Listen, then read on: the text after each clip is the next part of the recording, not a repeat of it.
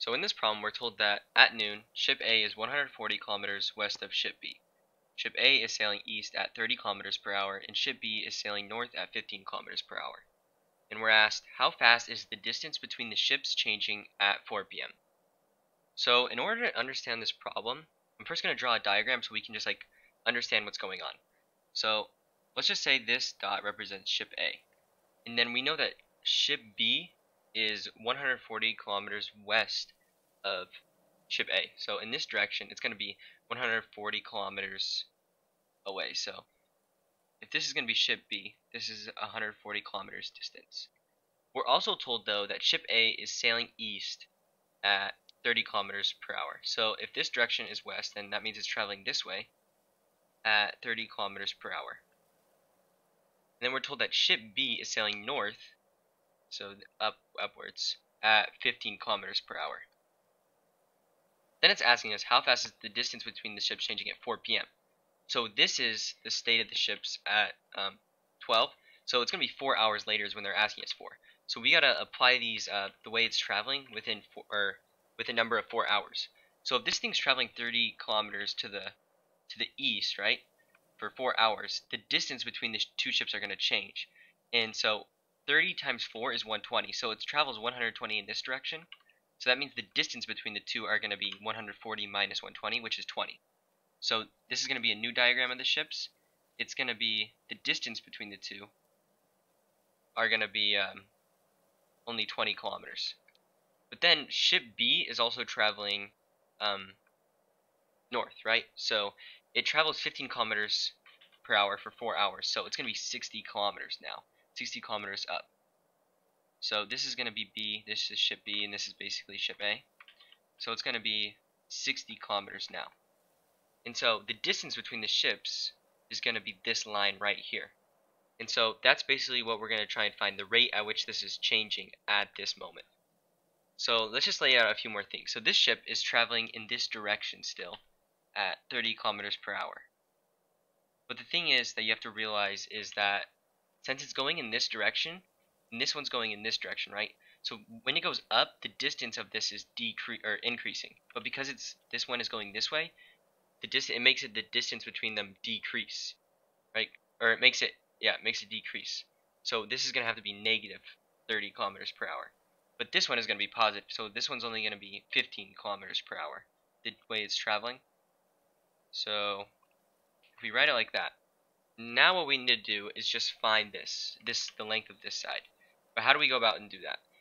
Well, we can use the Pythagorean theorem in order to find the hypotenuse or the length of this. And with the Pythagorean theorem is basically a squared plus b squared is equal to c squared. So if we just say this length is a, this length is b, then this will be c. So a is going to be 20, so 20 squared, plus b squared, which is 60, so 60 squared, is equal to c squared.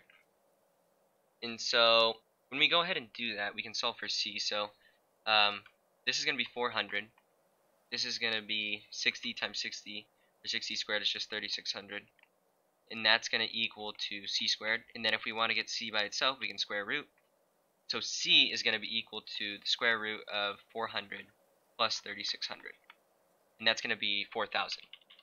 So let me erase all this. And so our new angle for C is going to be uh, square root of 4,000.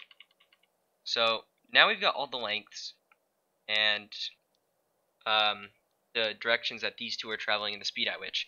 But we need to find the rate at which this is changing. That's the one thing we don't know. That's what they're asking us for. And so I'm going to call this dc dt, the rate of change of this side right here, uh, of this like distance between the two and this one's going to be, since this is angle, uh, this is B, I'm going to call it the rate of change of dB, so dB dt, and then this is going to be dA dt, this right here.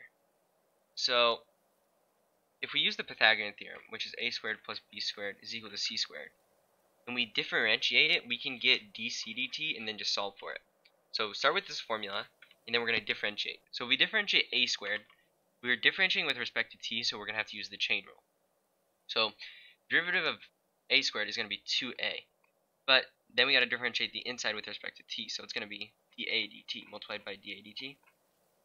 And then we're going to do the same thing for b. So b squared is going to be 2b times db dt. And then we do it for c. So derivative of c squared is 2c, or equals 2c times dc dt. And the thing you may notice here is that we have 2's on every single one, so we can basically just like divide by 2 and get rid of all those. So all we have is a times dA dt plus b times dB dt is equal to c times dC dt. And we have all these numbers, so we can solve for dC dt, which is the rate of change um, between the distance of the ships. So what is a? Well, a is this number right here, 20 kilometers. So we say this is 20, and we multiply it by the rate of change of a, the rate at which this length is changing. And we know that's minus 30. So minus 30, then we plus b, and b is going to be this length right here, 60, times dB dt, so the rate at which this is changing, which is 15, is equal to c, and we know what c is, it's the square root of 4,000, it's the length of our hypotenuse, so square root of 4,000 uh, times dc dt, I couldn't really fit it, but just try my best right there, so DCDT. and then we can just solve for DCDT. so 20 times minus 30 is going to be minus 600. And then we add that to 60 times 15, which is going to be 900. And this is going to equal the square root of 4,000 times DCDT. And so all we got to do is just divide by the square root of 4,000 for both sides, and then that'll give us DCDT. So minus 600 plus 900 is going to be 300. And then we divide by 4,000, so the square root of 4,000. And that's going to equal dc dt, or the rate of which the distance is changing between the ships at 4 p.m. So our answer is going to be 300 divided by the square root of 4,000 kilometers per hour.